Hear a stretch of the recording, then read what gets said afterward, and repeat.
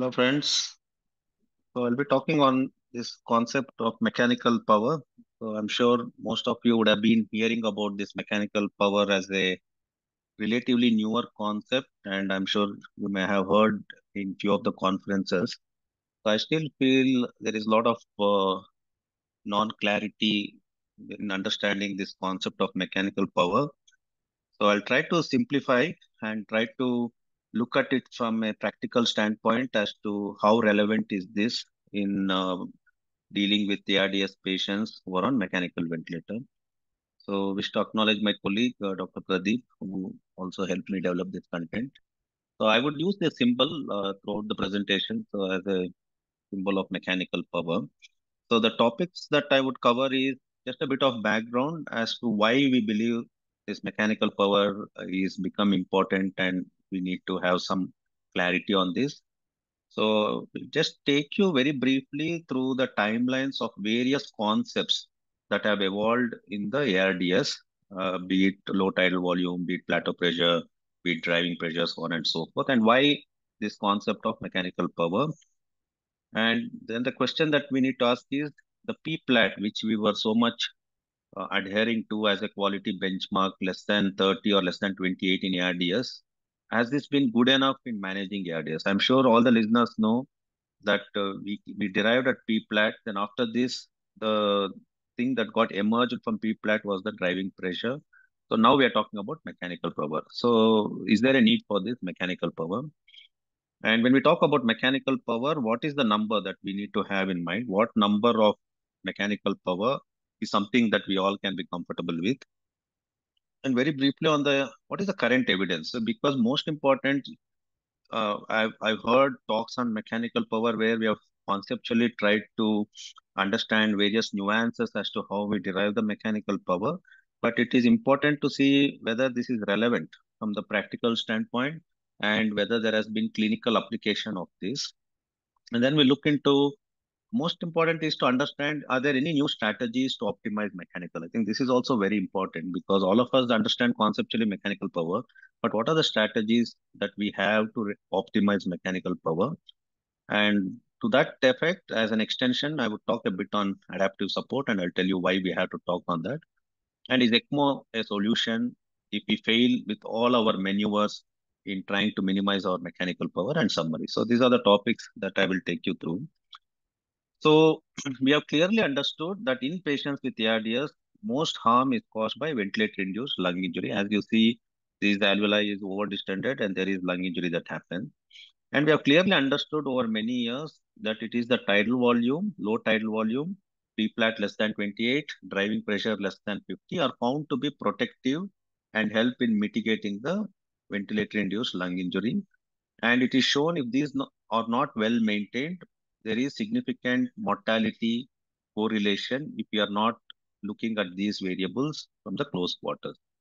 So when we talk about mechanical power, in addition to these three elements of low tidal volume, plateau pressure, and driving pressure, we are looking at other aspects. We are looking at the overall pressure, overall volume of the respiratory system, the flow dynamics, and most importantly, for all the listeners, you can bear in mind the respiratory rate, which was not added in any of the previous sort of a uh, variables that would have an influence has given due emphasis in mechanical. So they take this respiratory rate, they take flow. So they pretty much take all the elements that mechanical ventilator deals with, along with low tidal volume, P-plat and driving pressure and see whether this has an ability to mitigate or reduce the ventilator-induced lung injury. And we know there are a lot of lung injuries that happen in ARDS. So VILI is we have understood.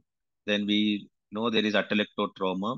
Then there is barotrauma that happens due to high pressures. Then there is something called biotrauma, which happens due to a lot of inflammatory process that happens in the lung due to the leakage of alveolar exudates, inflammation, and so on and so forth. And then the recently you might be hearing there is a whole thing about PCL. So these are the different types of injuries that lungs would be threatened with in ARDS when they are mechanically ventilated. So this I'm sure you're all aware, and we need to be aware of these sort of injuries. So let us look into the timelines on the evolution of protective strategies in ARDS. So in 1974, the whole concept of high inspiratory pressure came in, and then there was a concept that P plat should be maintained less than 30 centimeter of water. In 1985, the whole debate was initially our whole thought was barotrauma causes more harm to the lungs. In 1985, the concept of volume trauma came. That is where the emphasis shifted from barotrauma to more of volume causing injury, and we have discussed on this. In 1986, the concept of baby lung concept came, and PEEP application as a concept came in around 1986. In 1988, uh, there was a new nomenclature that was introduced called atelectotrauma due to the uh, repetitive closure and opening up of the alveoli in atelectasis leading to trauma. Then 1990 came the concept of permissive hypercapnia as an acceptable strategy in ARDS. But there was no clear sort of a indication as to how much CO2 is safe. I think that is where we are coming down to.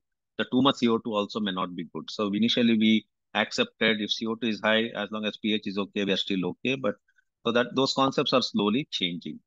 1992, there was we came out with the concept of open lung ventilation, where we incorporated low tidal volume with a high peak uh, to to have an adequate recruitability of the lung and uh, ventilation of the lung. 1997, the concept of biotrauma came, where the inherent damage to the lung due to the whole inflammatory process, exudates, and the inflammatory mediators causing disruption of the alveolar architecture is called as biotrauma. And at around 1997 to 2000, the whole concept and understanding of maintaining tidal volume less than 8 ml per kg of rated body weight and the PEEP table came from the ARDSNet group. And all these were adopted as tools to manage ARDS in a safe way. So these were some of the timelines. 2008, uh, so until 2000 to 2008, things remained pretty much uh, adhering to low tidal volume, PEEP table, optimizing PEEP, open lung. Then the whole concept of transpulmonary pressure came.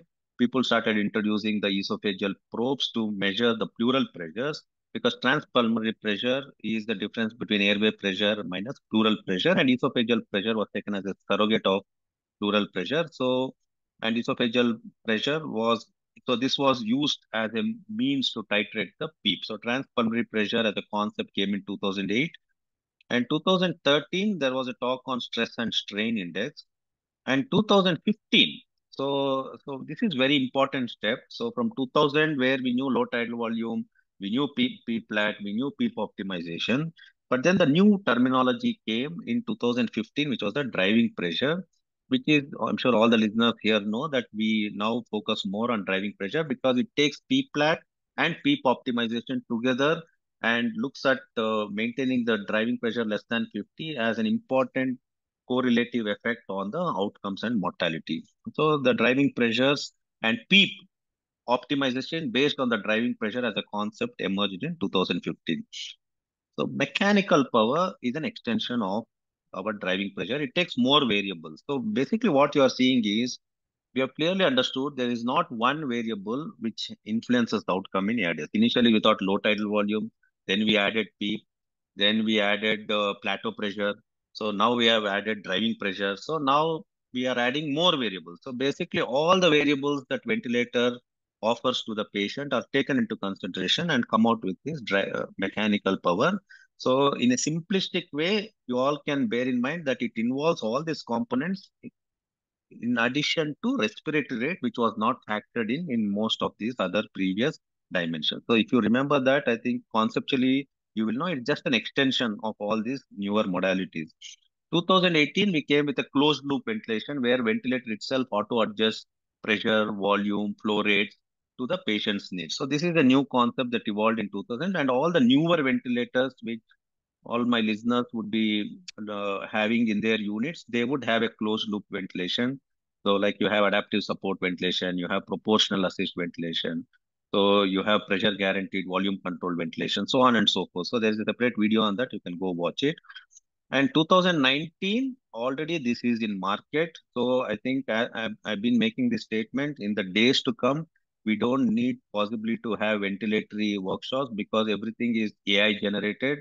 So ventilators will auto sense the need for the patient and it will titrate the flow rates, volume, pressures, and auto adjust. So this is already in the market. So Neo Ganesh, uh, which um, draggers have, And uh, so, so there are these algorithms which are incorporated in the newer ventilators. So the AI modeled ventilators are already in the market. So Neo Ganesh is one of them.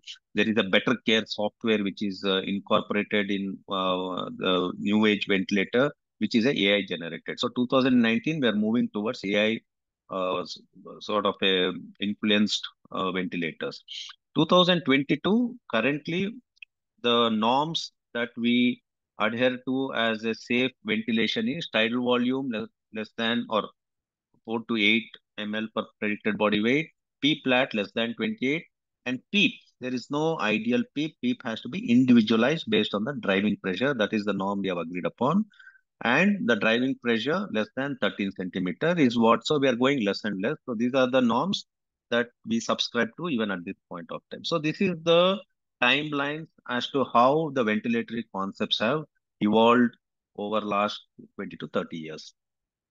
So just looking at all these awful injuries, 1973, as I initially uh, elucidated to, the barotrauma was given more emphasis, saying the pressures are more harmful. Then 1986, the move was that it is volume which is causing more problems. So volume trauma was emphasized in 1986. 1997, atelectotrauma got emphasized. 2016, we are talking about ergo trauma. So why mechanical power? Because this is a new nomenclature which got introduced in 2016 saying ergo trauma and this ergo trauma is influenced by various forces and that's where the importance of understanding the mechanical power came into concept. So what is there? So when you talk about mechanical power, so if you have to simplistically look at the variables that influence. As you see, there is respiratory rate, there is tidal volume, there is resistance, there is flow, there is compliance, volume, and P. So these are the factors that influence the mechanical power of the lung.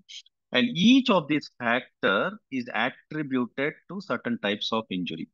So respiratory rate causes injury to the lungs, which is called chrono injury. So that is due to the energy transfer that happens to the lung. And tidal volume, you all know it is volutrauma. Then there is resistance and flow. It causes something called rheotrauma. And energy trauma is due to the volume divided by compliance. And PEEP is hmm. atelectotrauma. So the, the combination, the cumulative effect of all this trauma is called ergo trauma because each and every variable. So simplistically to understand, each and every variable we set on the ventilator has an influence on causing injury to the lung. That's all is that's why we need to understand all this leads to cumulatively, which we call as mechanical power. So then the question comes, P plat of 30, is this enough? So we have understood the transpulmonary pressure, which is a airway pressure minus pleural pressure, may not be the only indicator that can determine how safe are we ventilating the patients. So mechanical power is the energy that a ventilator transfers to the patient who is ventilated causing injury to the lung. So all the settings you do, respiratory rate, flow, volume, PEEP, driving pressure, P plat, all this. When we set all these, there is a transfer of energy to the patients who's on a ventilator, which is calculated as joules per minute. And that is what we call as mechanical power. So for all my brilliant listeners, if you want to uh, uh, remember, this is a simplistic formula, power, which is joules per minute so if you don't remember that, the formulas which these are further split into three categories because when we talk about mechanical power, so there is elastic component and there is resistive component. For me, it is easier to remember this formula. In elastic component, there is a static and dynamic. So the static power or elastic component is 0.098 into tidal volume into respiratory rate into P. Easy to remember. So you just have to remember these three things, 0.098 into tidal volume into, and the last one you keep changing. For dynamic, it is same thing, 0.098 into tidal volume into respiratory rate into half of driving pressure. And for resistive, because resistance of the airways is dependent on the peak pressure, so it is just 0.098 into tidal volume into respiratory rate into peak peak pressures minus flat. So very easy to remember. So I'm sure for all the listeners, this is the easiest way of remembering three sub-variants of mechanical power, which is a static elastic power component, dynamic elastic component of the power, and resistive component to the power. So this is the simplistic way we can remember. And even there are studies to see which has the greatest influence on the mechanical power. And the greatest influence on mechanical power is the dynamic elastic component, which has a greatest influence on the mechanical power. And I'll show you some of the studies. So now the question remains, after using this formula, so this is the total formula for the mechanical power. So you will get it as joules per minute. And what number of mechanical power, the studies have shown 17 joules per minute or less is considered safe for the lungs. Anything more than 17 joules per minute is shown to be harmful. So as I said, mechanical cover, if it is more than 17 joules per minute using those formulas, it is shown to have correlation with increasing in the mortality. So why, where did this number come from? So there are studies done. So this study was by Dutch group. It's called PROVE Network Investigators.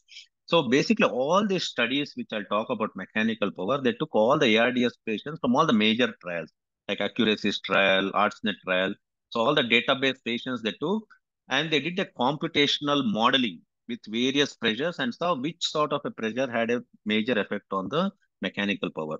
So the Serpa Neto et al., which is a PROVE network Investigators, which was published in Intensive Care Medicine, took two observational studies of mechanical power and they showed mechanical power had a good correlation with ICU and hospital mortality, ICU and hospital length of stay and ventilatory free days, even when low tidal volumes were maintained. So which means to say, uh, emphasizing that just saying I'll maintain my patients on low tidal volume, optimal PEEP, driving pressure less than 50 at this point of time may not be good enough.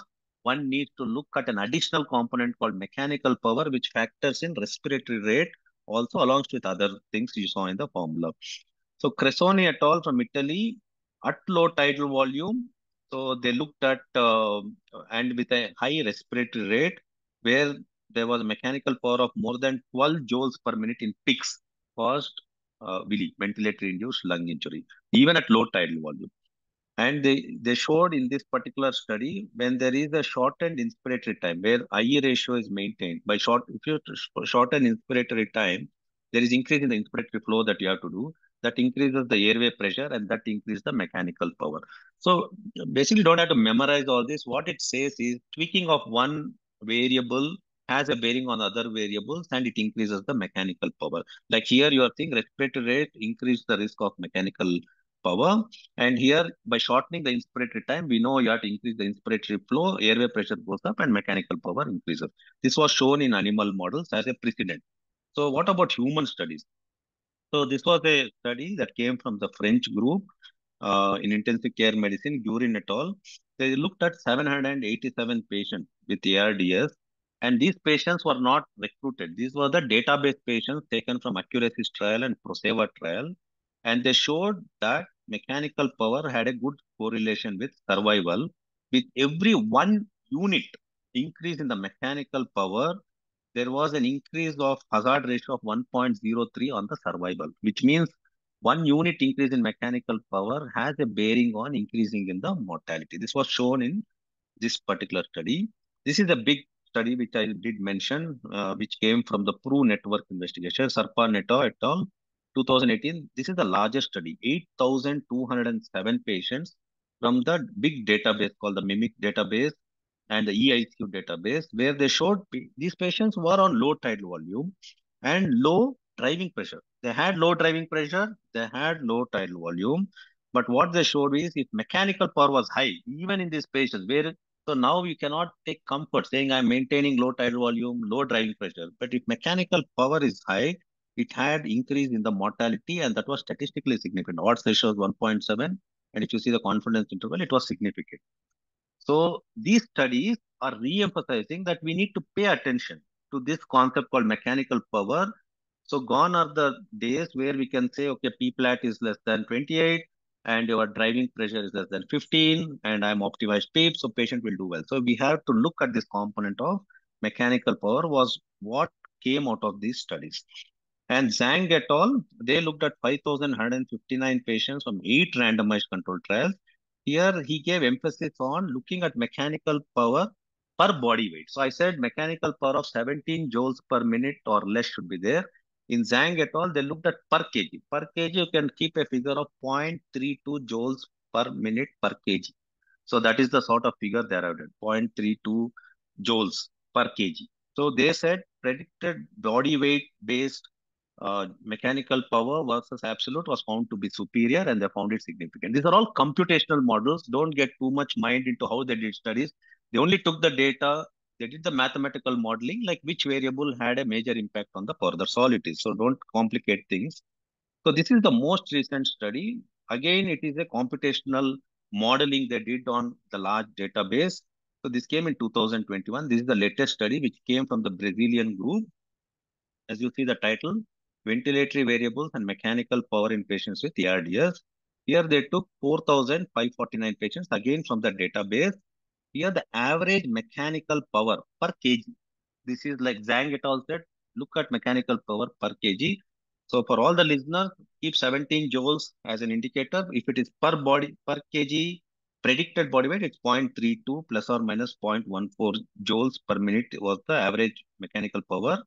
And the driving pressure in this database was 15 plus or minus 5.8 and respiratory rate was 25.7 plus or minus 7.4 beats per minute. And what they showed in this study was the driving pressure had, so these were the predictors of mortality and the driving pressure's effect was four times that of respiratory rate. So this is a very important message that came, which tell the driving pressure has much more profound effect than the respiratory rate. So the effect is four times impactful is uh, to that of respiratory rate, which means the driving pressure is four times more effective than the respiratory rate. So although we are paying attention to the respiratory rate in mechanical power, still the driving pressure has more value because its impact was more on and its impact on influencing the outcomes was more with driving pressure. It was four times better than respiratory rate. But having said that, respiratory rate also has a bearing on mechanical power.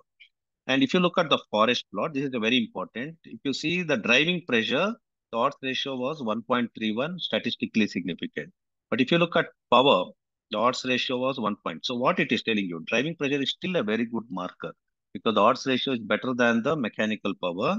And here I, I told you in mechanical power, there is an elastic component of the mechanical power and here, as you see, they have looked at elastic dynamic and elastic static. And elastic dynamic had a maximum impact on the mortality, which was 1.31. And as you say, then they came out with this formula four times. This formula came from the findings of the study that delta P or the driving pressure at four times the effect of respiratory rate. So they combined both. So they took four times the driving pressure plus respiratory rate had a maximum impact on mortality. That's what came out of this study. Very good study. So basically from this study, very summarily what I what we can deduce is that 4 into 4 into driving pressure plus P, these two variables as a component had a major impact on the mortality and that came out from this study. And if we have to look at the power, it was the elastic dynamic component which had the second maximum effect, followed by the mechanical power. So this is what came out from this. Just to remind you again of the elastic dynamic, this is a simplistic formula. 0.098 into tidal volume into respiratory rate into half of driving pressure. So driving pressure is coming in everything. So which means again, driving pressure appears to be most important and add it with respiratory. rate. So four times the driving uh, pressure is what has a maximum impact on the uh, power, mechanical power. So now we'll move very slowly to how do we how do we optimize mechanical power? If mechanical power is high, use this formula. And because we had, as I'm giving this talk, I have a patient on ARDS who is prone position. We did a mechanical power, it was 24. Obviously, we have to incorporate strategies because this patient right now who is prone has a driving pressure of around 14 this morning and has a P plat of around 28, 26 but mechanical power is 24. So we are obviously putting in, we need to understand the strategies as to how we reduce the mechanical power. So how do we optimize power? So there are two broad categories. The first category is obviously we have to reduce the production of CO2. So this is where it is important because we said permissive hypercapnia was a friendly concept we were comfortable with, but no longer can we be comfortable because if carbon dioxide is going high, mechanical power keeps increasing. And second component is enhancing ventilatory efficiency. How do we reduce carbon dioxide? It's all the archaic, uh, intuitive sort of a practices that we have been doing. So we have to optimize sedation, optimize analgesia, paralyze. The patient we have in question in our ICU right now, we have obviously she's on paralysis and temperature control, reduce the sympathetic activity, so on and so forth. And how do we enhance mechanical ventilation? There is a one strategy that they've come out with this. So giving an end inspiratory pause, if that is prolonged, it has some ability in reducing dead space, prone position, which we do, and PEEP optimizations. All these are something which we have been doing, but end inspiratory pause, which can be prolonged for some time, has shown to have some effect on reducing dead space. But for us, the easiest one, the another important aspect that came out in optimizing power was adaptive support ventilation. So I think that is something which we should. So adaptive support ventilation is shown to have favorable effect on reducing the mechanical power. Is there clinical study? I'll take you through that. So what is adaptive support? So adaptive support ventilation. So I use G, G ventilators and Drager uh, but my ventilators do not at this point of time have adaptive support ventilation. Hamilton and Drager Evita have. So adaptive support is where breathing optimization happens commensurating to the respiratory system mechanics. So when there is low compliance, typically in ARDS, there is low compliance. So the compensatory mechanism to uh, so to reduce the work of breathing is rapid shallow breathing. So they do rapid shallow breathing in the low compliance. And in patients with high resistance, so your work of breathing can be reduced by slow deep breathing because you need a prolonged expiratory phase. So what adaptive support ventilation does is you fix a minute ventilation and the ventilator plots a graph to titrate tidal volume to achieve the target flow rate that you have set at an optimal level. So basically it plots the graph to optimize the tidal volume to achieve the set minute ventilation at a set flow rate. So this is happening to the patient's needs. So the parameters that we set in adaptive support ventilation is you have to put body weight and what is the minute ventilation we are intending to achieve, what is the PEEP that we need and trigger and ventilator automatically measures the compliance and resistance. And here, the most important is that end inspiratory pause I said, ventilator is doing. It optimizes inspiratory and expiratory ratio, avoids auto and it sets the tidal volume and respiratory rate it by plotting the graph to achieve the set minute ventilation. So ventilator is doing pretty much everything for you based on the patient's needs by plotting the graph. So is there a clinical evidence? Yes, there was a study that came from Germany.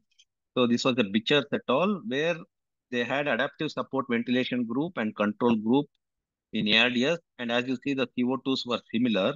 But when they looked at mechanical power, it was significantly less in adaptive support ventilation. It was 16 joules as opposed to 18.6 joules in the conventional group. So that is where they said that adaptive support ventilation may have some beneficial effect in reducing the mechanical power in addition to all the other tools that we incorporate like PEEP optimization, sedation, analgesia, reducing the dead space, so on and so forth. So if all this fails, you have put you have done adequate analgesia, adequate sedation, you have done adequate PEEP optimization, reduce the dead space, done prone ventilation, all this fails, then what is the solution? Solution is ECMO. So this is adaptive support ventilation on the Hamilton ventilator. So it, as you see, there is a graph that is plotted to attain the set tidal volume at a set uh, at a set flow rate to attain the minute ventilation.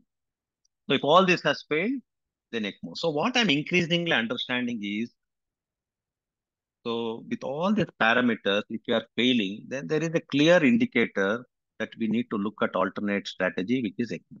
Because if CO2s are so if you have to incorporate our EOLIAS criteria, where CO2 more than 60 and pH less than 7.29 for six hours, you have to consider ECMO. So, and this is emphasized. If you, we cannot, are the days we can tolerate higher CO2s now where permissive hypercapnia even 80 we cannot accept now. It has to be less than 60 because it increases mechanical power. So has there been any studies looking at ECMO and its effect on mechanical power? Yes, there are studies. So if there is increasing mechanical power, despite all these strategies, then obviously you have to consider ECMO.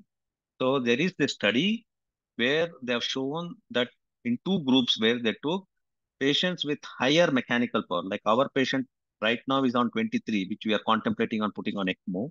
So if, higher mechanical power patients invariably went to ECMO and patients with lower mechanical ventilator did not need ECMO. It was shown in one of the retrospective study. And post ECMO, because you are resting the lung, you can see the mechanical power significantly comes down to 6.6 joules per minute as compared to no ECMO, 26.1. So which means to say ECMO rests the lungs and mechanical power will significantly come down.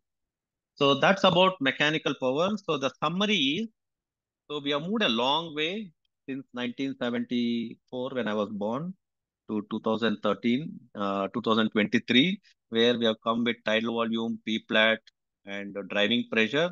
Now we are talking about including mechanical power, where we are adding all the sort of variables. We are putting them into a mixer along with respiratory rate, which was underemphasized in all these previous sort of a novel approaches, and showing how this mechanical power has an influence on ventilator-induced lung injury and this has a direct bearing on mortality, which we have seen in the clinical studies.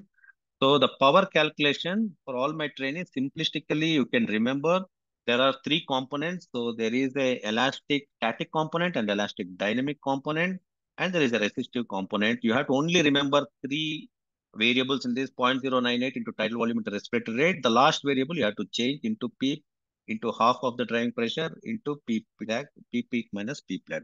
If you remember this much as a conceptual understanding, it's not only a conceptual understanding, it has a practical bearing. So from now on, we have to look at mechanical power in all our ARDS patients.